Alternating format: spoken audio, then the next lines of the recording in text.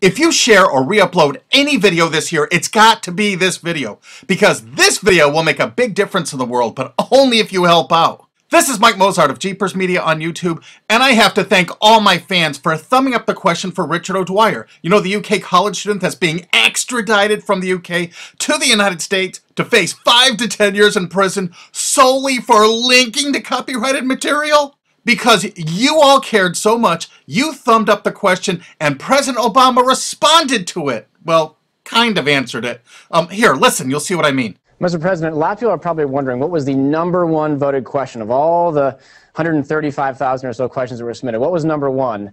It was actually a text question. I'm going to read it to you now. It comes from Michael Mozart in Connecticut, and he writes, Why are you personally supporting the extradition of British citizen Richard O'Dwyer for solely linking to copyright infringing works using an extradition treaty designed to combat terrorism and bring terrorists to judgment in the U.S.? And for those of you uh, who don't know who Richard O'Dwyer is, he's, he's a British student the Justice Department is apparently seeking to, to extradite him to the U.S. for, for copyright infringement. Yeah, well, first of all, Steve, uh, I'm not personally doing anything uh, because. Yeah, I'm, I'm, reading exactly no, what you no, wrote. I, so. I, but, but I want to make sure everybody understands. Yeah. You know, uh, one, one of the ways our system works is that uh, the president doesn't get involved with prosecution decisions or extradition decisions, and this has been a decision uh, by the Justice Department. Uh, what I can say broadly is that we want to make sure that intellectual property is protected. We want to make sure that uh, you know the creative works of people in this country uh, aren't expropriated, but we want to do it in a way that's consistent with internet freedom. And we're just going to keep on working on it. Uh, you know, uh, when SOPA came up on the Hill, we expressed some concerns about the way that the legislation had been written told folks, let's go back to the table and let's try to figure something out uh, that works for everybody. President Obama really didn't answer that question, but he really raised a lot of questions because he said one thing. He said he has no control over the prosecutions by the Department of Justice. He states that the president has no control. Wait, listen again. Uh, the president doesn't get involved with prosecution decisions or extradition decisions, and this has been a decision uh, by the Justice Department. The president has no control over prosecutions by the Department of Justice? Then why did he tell us that he wouldn't allow any prosecutions or actions based on the NDAA he signed New Year's Eve? Remember that, that law that lets the United States government just pick up people randomly on the street, put them in prison forever without any trials or lawyers? You remember that little, that little law he sort of snuck through New Year's Eve that he signed even though he promised he wouldn't? Afterwards, when he got his hand caught in the law cookie jar, he said, I shall never allow a prosecution to happen. But he just said he has no control over prosecutions by the Department of Justice.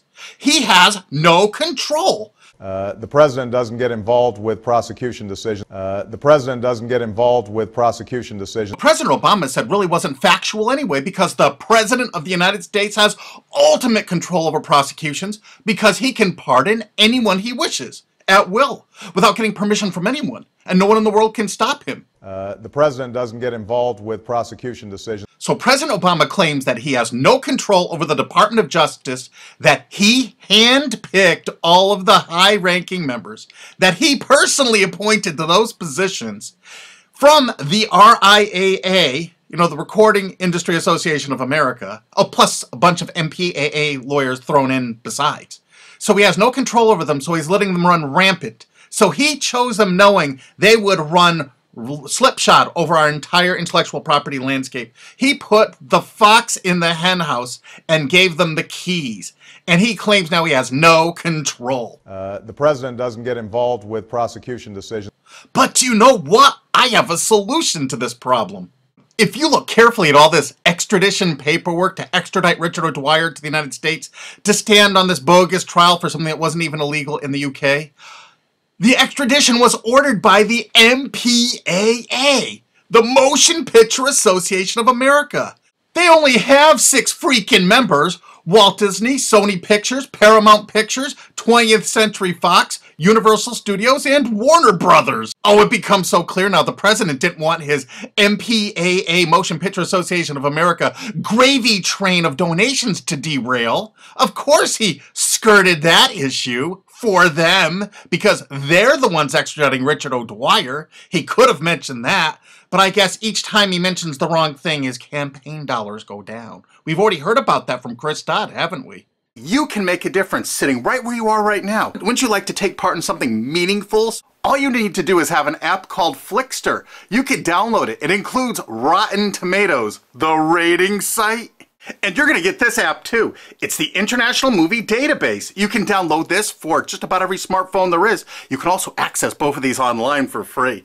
And you know what? You can log into both using your Facebook and we're all going to rate movies together. Lots of them. It'll be fun. I saw this little post and go by in my Google Plus stream. Oh, they allow 13 and over now on Google Plus. Come follow me there so we can have fun there too. Look, TechCrunch, more than half of adults use cell phones for purchasing decisions during the holidays. That's right, most people refer to ratings for movies and DVDs before they buy them. People who have never even heard of ACTA or SOPA and don't care less. We can affect their buying decisions and they don't even know it. Remember, only rate if you actually went to see the movie because these sites don't have any way to tell if you actually did. And you know what? I have over 400,000 subscribers. I imagine that enough of you care enough about your future and the internet. I'll bet 60,000, 80,000, 100,000 of you will join in with all of Richard O'Dwyer supporters in the UK to really make a big difference. Actually, go see one of those crappy ass movies the first day it comes out. That'll kill a blockbuster weekend. It'll destroy it. It'll devastate that blockbuster weekend. Because people look online and say, hey, honey, I was going to go see that Dark Knight movie, but, but 82% of the critics liked it, but only 16% of the viewers liked it. Eh, we'll wait for it to come out on DVD. $300 million out the window. It's so easy. Now we're going to start rating all of them. Every single movie. I only have 400,000 subscribers on YouTube. You don't know what a difference this is going to be. Less than one one hundredth of 1% of actual moviegoers actually go there and rate the movies. Look how few have rated these popular movies. Go to walmart.com. Look how few people actually rate these movies.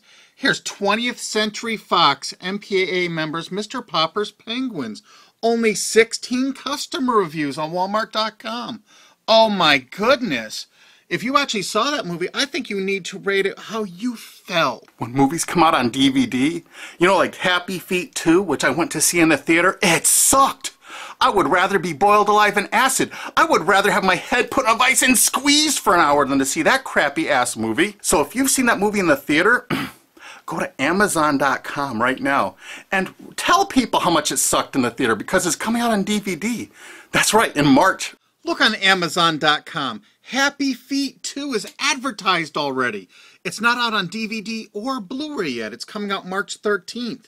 But look how people rated it that actually saw it in the movies. Wow, I really think that if you've seen this movie, because I don't think there's any way really here to tell, if you've actually seen that movie, go there and rate that movie. Rate all the different versions. There's several different versions of this. Make certain people know if you didn't like it, what you thought of it. And you could be a tremendous influencer here. I mean, really. And how much our words of advice can mean to a lot of people. I'll go see it, like everyone else will go see it, opening night, opening weekend, the earliest sneak preview I can get in. And I'll let you know how bad it was. Well, if it was bad, it could be good. I doubt it. So don't forget to share this with all your friends. And you know all those DVDs and Blu-rays you got kicking around that sucked?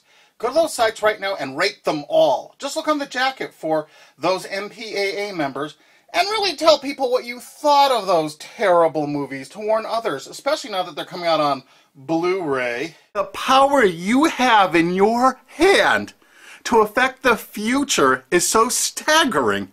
And I heard this from a lobbyist. It's their worst nightmare. No kidding. This is this is their nightmare supreme. Each one of our votes potentially could cost hundreds of thousands of dollars and prevent hundreds of thousands of disappointed moviegoers. We should check them all, like Walmart.com, Target. And you write what your experience was in the theater when you actually saw it. But it's going to count on you doing this. It takes a minute to do it. You can do it with your friends. And we're also going to write reviews on our Facebooks and we're going to review it on Twitter. Opening night, we're going to start tweeting out. Please remember, there's no way on these sites for anyone to tell if you actually saw it or not. Please only rate if you've actually seen it. Okay, so we're going to start doing that. And these are the movies we're going to start with. Here's just an assortment of what we're beginning with. There's actually links in the description where you can go and give buzz ratings on Rotten Tomatoes to say if you're planning to see it or not. I'm not kidding. And you sign in with Facebook. How easy. And do you know why rating is the best thing to do? Because it's legal. I prefer my lulls to be 100% legal. Oh, and don't forget to rate MPAA members Sony's products at places like Walmart, Best Buy, Target, Toys R Us, but only rate them if you actually bought them, because most of these sites don't even have a way to check if you did. So if you see Sony headphones, I want you to look at those headphones and say, they're extraditing a UK college student to the USA. I don't want that crap in my home. So just think about it. So next Christmas, you're going to have yourself a Sony-free Christmas. And whatever rating sites you have in your country, please put those in the comments so I can add links to them in the description underneath this video. And I really want to promote independent films. Like if you know independent films that are actually getting in the cinemas, let me know. Send them to my Jeepers Media at YouTube and let me know the movies and who's producing them. And let's let's promote those people when they come in the theaters. Let's get some quality movies out there where people can see them. And please share this video everywhere. Download it and re-upload it it. Use that remix button right under the screen. Post this all over the internet if you wish. Make sure that you share this with your friends on Twitter and Facebook. Make sure you thumb it up so people will find it on the charts if it actually shows up on them. And do your best to get people to see this because all we need is a few thousand dedicated people and we'll let the world really know what we think of some of these movies. And don't forget to share this on 9gag and Tumblr and Reddit because those are the sites that they're going to use these laws to take down. Let's get the word out because now we have a way to speak out where our voice will be heard really, really loud, like hundreds of millions of dollars loud, like potentially billions of dollars screaming loud. When big blockbusters fall on their face because people rate them honestly when they first come out. And you know what? If you follow Jeepers Media on Twitter or you follow me on facebook.com slash Mike Mozart, you will know what movies to avoid and you can warn your friends about it. Make sure if you copy this video to take the links from the description and add them to your re-upload so people can find these movies and Richard O'Dwyer's mother's information, you know, the poor UK student that's being extradited to the United States by Disney and Sony and Universal. You get the picture. I've been getting so many little threats and things about these videos I'm putting up. I just gotta say one thing. I have 400,000 subscribers on YouTube and remember the, the Streisand effect is a bitch. Isn't it marvelous? Legal lulls are the best lulls of all. Trust me. And to Elkie David, I know you asked me not to post this video and hold off on it, but I went ahead and posted it anyway. I'm sorry. My bad.